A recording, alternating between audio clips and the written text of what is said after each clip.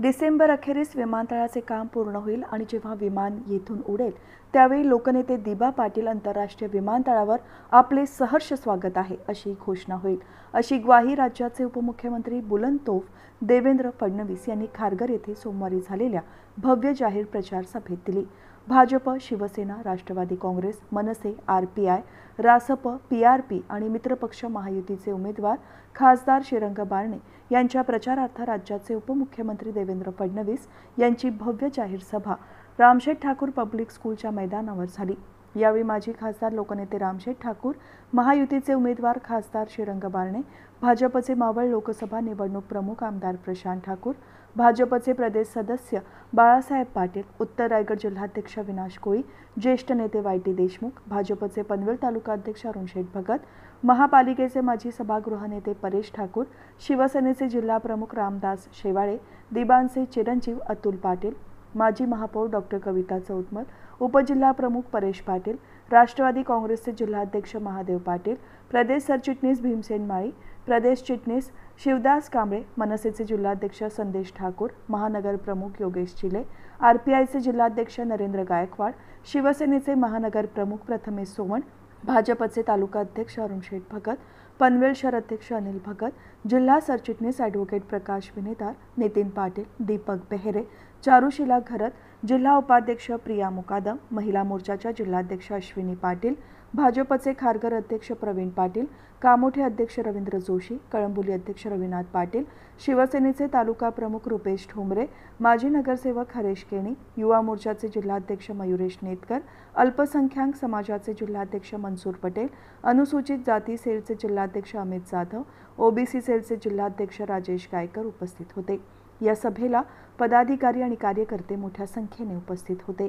यावेळी खासदार श्रीरंग बारणे यांनी गेल्या दहा वर्षात पंतप्रधान नरेंद्र मोदी यांच्या नेतृत्वाखाली काम करत असताना मतदारसंघात अनेक कामे केल्याची माहिती दिली.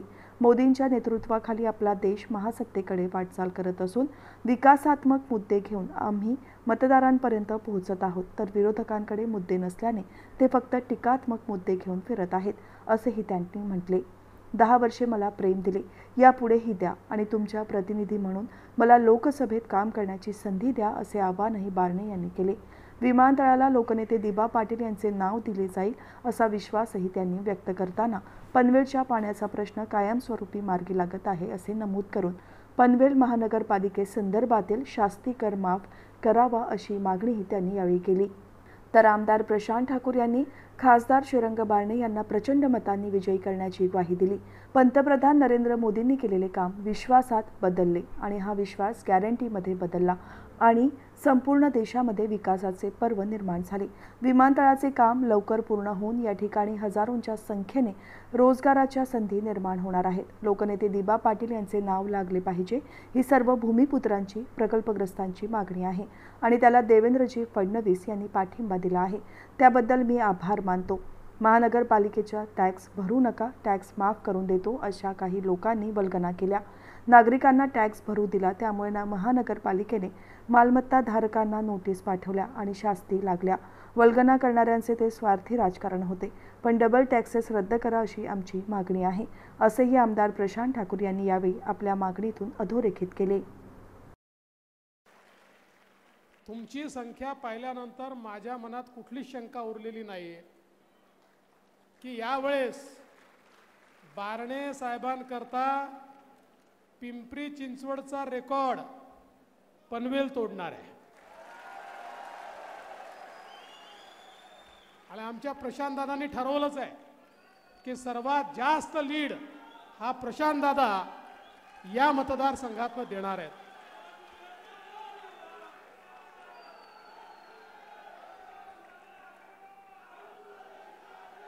बंधू भगिनींनो ही देशाचा नेता निवडण्याची निवडणूक आहे. महानगरपालिकेची विधानसभेची निवडणूक नाही तर ह्या देशाची कमान कुठल्या नेत्याच्या हाती द्यायची याचा फैसला करणारी निवडणूक आहे. कोणाच्या हातामध्ये हा देश सुरक्षित राहू शकतो कोण या देशाला विकसित करू शकतो आणि कोण सामान्य माणसाच्या आशा आकांक्षा आणि अपेक्षा पूर्ण करू शकतो अशा प्रकारचा नेता आपल्याला निवडायचा आहे. आणि हा नेता निवडत असताना दोनच पर्याय आपल्याजवळ आहेत. पहिला पर्याय अखिल विश्वामध्ये सर्वाधिक लोकप्रिय असलेले आपले विकास पुरुष माननीय नरेंद्र मोदीजी. आणि मोदीजींच्या नेतृत्वात आपली महायुती ज्यामध्ये एकनाथराव शिंदेजींच्या नेतृत्वातली शिवसेना आहे. अजितदादांच्या नेतृत्वातली राष्ट्रवादी काँग्रेस आहे. राज ठाकरेंची मनसे आहे. आठवले साहेबांची त्या ठिकाणी रिपब्लिकन पार्टी आहे. पिरिपा आहे रासपा आहे जनसुराज्य आहे. अशी वेगवेगळ्या पक्षांची मिळून मोदीजींच्या नेतृत्वातली आपली युती एकीकडे आहे आणि दुसरीकडे कोण आहे? राहुल गांधी. राहुल गांधींच्या नेतृत्वामध्ये चोवीस पक्षांची खिचडी. आता सवाल आपल्यासमोर आहे. दोन आघाड्या तयार झाल्या आहेत. दोन ध्रुव तयार झाले आहेत. दोन नेते अमोरासमोर आहे. कोणाच्या तरी एकाच्या हातामध्ये या ठिकाणी आपला देश द्यायचा आहे. बंधू भगिनी न मोदीजींच्या नेतृत्वातली आपली महायुती कशी आहे? ही विकासाची गाडी आहे विकासाची विकासाची मेट्रो आहे. याचं इंजिन नरेंद्र मोदीजी आहेत. आणि बाकी सगळे पक्ष जे आहेत ते पक्ष बोगीच्या रूपानं या इंजिन सोबत धावतायत.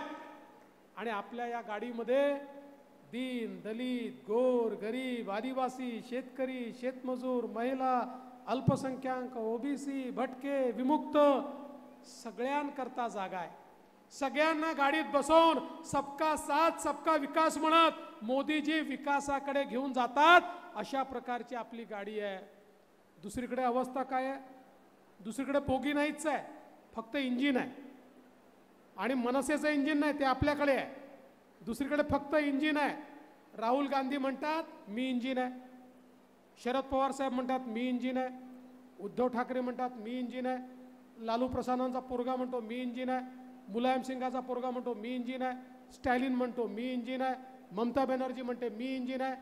त्या ठिकाणी सगळे इंजिनच आहेत. बरं यांचे इंजिन कसे आहेत?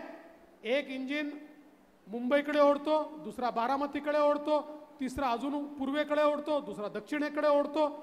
यांचं इंजिन चालतही नाही डुलतही नाही हलतही नाही बोलतही नाही. ठप्प पडलेलं इंजिन आहे. आणि माझा तुम्हाला सवाल आहे आपल्या गाडीत तर सगळ्यांना बसायला जागा आहे. इंजिनमध्ये बसायला किती लोकांना जागा असते? ड्रायव्हरच्या व्यतिरिक्त कोणी इंजिनमध्ये बसू शकत नाही? बंधू भगिनींनो लक्षात ठेवा राहुल गांधीच्या इंजिनमध्ये फक्त प्रियंकाजी आणि सोनियाजी करता जागा आहे. उद्धव ठाकरेजींच्या इंजिनमध्ये फक्त आदित्य ठाकरेंकरता जागा आहे. आणि शरद पवार साहेबांच्या इंजिनमध्ये फक्त सुप्रिया सुळेंकरता जागा आहे. तुमच्याकरता जागा नाही आहे पण ज्या क्षणी तुम्ही श्रीरंगप्पा बारणे यांच्या धनुष्य बाणाचं बटन दाबाल त्या क्षणी मावळ मतदारसंघाची बोगी थेट मोदीजींच्या इंजिनला लागेल आणि मावळ मतदारसंघ हा वेगानं पुढे जाईल.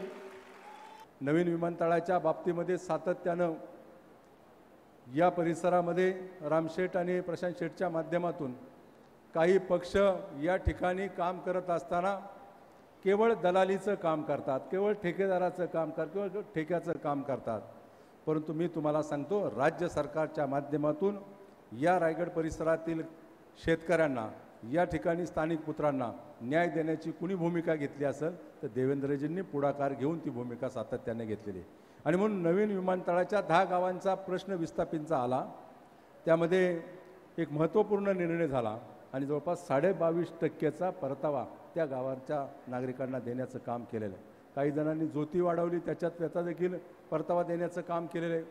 आणि या संपूर्ण परिसरातील नागरिकांची मागणी लोकनेते दिबा पाटलांचं नाव त्या विमानतळाला नियोजित विमानतळाला देण्याच्या संदर्भामध्ये. मी तुम्हाला सांगतो राज्य सरकारने हा निर्णय घेतलेला आहे आणि ज्यावेळेस विमानतळात चालू होईल त्यावेळेस केंद्र सरकारच्या माध्यमातून देखील मान्य देवेंद्रजी सांगतील केंद्र सरकारच्या माध्यमातून देखील दिबा पाटलांचंच नाव या विमानतळाला दिलं जाईल. एवढं मी केंद्राचा प्रतिनिधी म्हणून तुम्हाला आवर्जून सांगतो. शेवट काम करणारं सरकार आहे.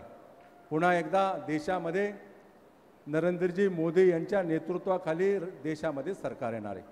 एक सुरक्षित सरकार या देशाला चालना देणारं सरकार आणि या देशातील तमाम नागरिकांना सुरक्षा देऊन त्यांची आर्थिक सुबत्ता वाढवणारं सरकार म्हणून गेल्या दहा वर्षामध्ये काम करते आणि म्हणून आपण सगळ्यांनी एक गोष्ट लक्षात घेतली पाहिजे. विरोधी पक्षाकडे कुठल्याही प्रकारचे मुद्दे नाही विरोधी पक्षाकडे कुठल्या प्रकारचा विकासात्मक कुठल्या प्रकारचं मुद्दे नाहीत. आणि या निवडणुकीच्या माध्यमातून जी खिचडी एनडीची झालेली आहे त्या एनडीच्या माध्यमातून आपल्यासमोर ही मंडळी येतात त्यांना माझं जाहीर आव्हान आहे मोदीजींच्या नेतृत्वाखाली जगाच्या पाठीवरती भारत देश एक सक्षम देश म्हणून उभा राहतोय आणि पुढच्या कालावधीमध्ये देखील नेदू ने मोदीजींच्या नेतृत्वाखाली पुन्हा एकदा देशाची सत्ता या मोदीजींच्या बरोबर येणार आहे. परंतु तुमचा लोकप्रतिनिधी म्हणून या परिसरामध्ये काम करत असताना गेले दहा वर्ष केंद्र आणि राज्य सरकारच्या अनेक योजना या तुमच्यापर्यंत पोचवण्याचं काम केलेलं आहे. माझ्या विकास पर्व या पुस्तिकेतून माझ्या जाहीरनाम्यातून ते तुमच्यापुढं सातत्यानं मांडत गेलेलं आहे. आपण पाहतो विकासात्मक मुद्दे घेऊन मतदारापुढं आम्ही जातोय. विरोधी पक्षाचे सगळे नेते मंडळी सगळे उमेदवार टीकात्मक मुद्दे घेऊन पुढं जातात. आम्हाला देशाचा विकास करायचा या परिसराचा विकास करायचा आहे. आणि म्हणून येणाऱ्या कालावधीमध्ये पुन्हा एकदा जगाच्या पाठीवरती भारत देश एक सक्षम होतोय. मोदीजींच्या नेतृत्वाखाली भारत देशाची मान जगाच्या पाठीवरती उचवली जाते.